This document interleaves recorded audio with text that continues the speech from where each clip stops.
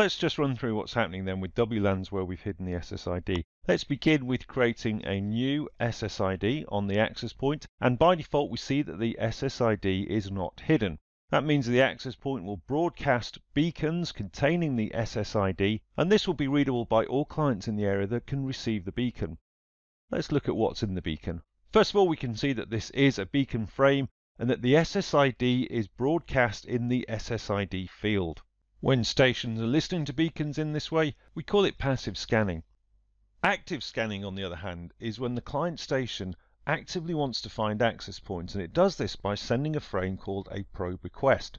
Because the clients are trying to find any access points that are in the area, the probe request doesn't contain the SSID. This is a broadcast probe request. Any access point that receives it should respond, and the probe response will contain the SSID of the WLAN. Let's look at the frames. So the probe request is sent by the client. This is a probe request frame. We can see that it's a probe request. And if we look under the SSID field, we can see that there is no SSID. The field is null, which means that the client is asking for any access point to respond.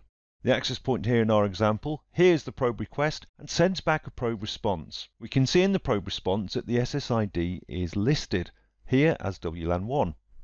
Now we'll enable hiding the SSID in beacon broadcasting and let's have a look at what happens. Well, the access point will now broadcast its beacon, but the SSID field will be empty. Even though the WLAN has an SSID, it just won't be visible in the beacon. Client stations will still hear the beacon. Let's have a look at the frame. Here is a beacon frame, and we see now the SSID field is empty.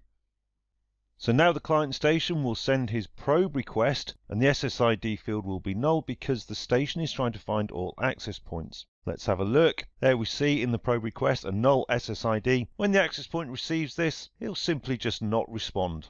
Let's have a look from the iPhone's perspective. Here we see that the iPhone Wi-Fi is enabled in this state, it's not connected to any WLANs at all, so it is probing, and it's received a probe response from the network that's called CASA. That's not in our network, that's just a neighboring access point that's responding to a null probe request. But our network, our WLAN1, which is a hidden SSID, is not visible. We can't see it. And the reason is because the access point isn't responding to the null probe requests.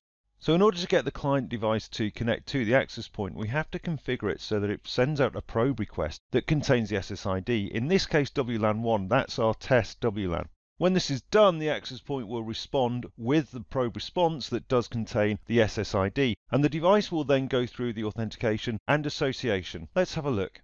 So as we can see, I can't actually see WLAN1, but I can configure a manual connection to it. So let's try that.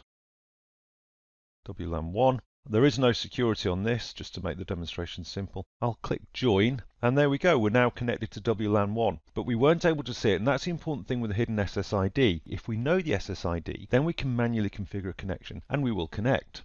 Let's just check the frames. Here is the probe request, and we can clearly see that the SSID now is listed in the probe request.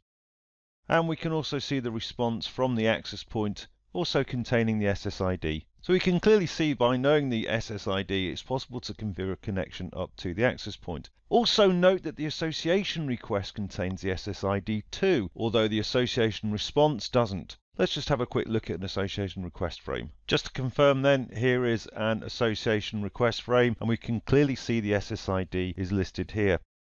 So what does this mean? It means that hiding the SSID will stop devices from casually being able to identify your WLAN, but anybody with any kind of frame capture software will be able to intercept frames and identify the WLAN, so it's not a true security solution. SSID hiding is usually used with some other authentication methods. It does add an extra layer of security, but as we can see, the SSID can be easily identified with the right tools.